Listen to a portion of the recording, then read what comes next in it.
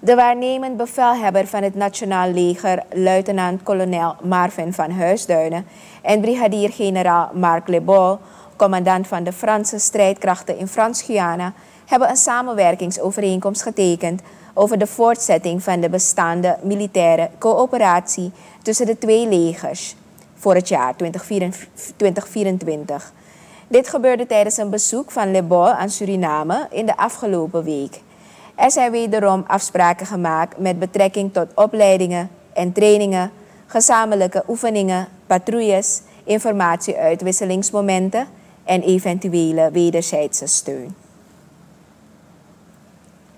In het kader van het verder herstel van Suriname Airways en de verdere uitbreiding van het routenetwerk uh, wordt per 18 december 2023 de nieuwe route Aruba-Curaçao-Miami geïntroduceerd.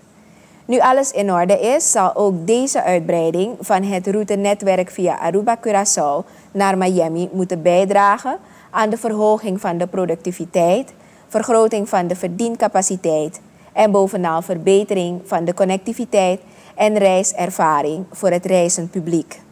De vluchten vanuit Aruba en Curaçao naar Miami worden uitgevoerd door Suriname Airways Boeing 737-800 met minimaal 150 zitplaatsen. Aan journalist Nita Ramcharan is donderdag op de residentie van de Nederlandse ambassadeur een koninklijk onderscheiding toegekend. Ze werd namens de Nederlandse koning Willem-Alexander benoemd tot ridder in de orde van Oranje Nassau. De onderscheiding werd haar in een kleine ceremoniële bijeenkomst opgespeld door ambassadeur Walter Oostelbos. Ramcharan is bijkans 40 jaar actief in de journalistiek.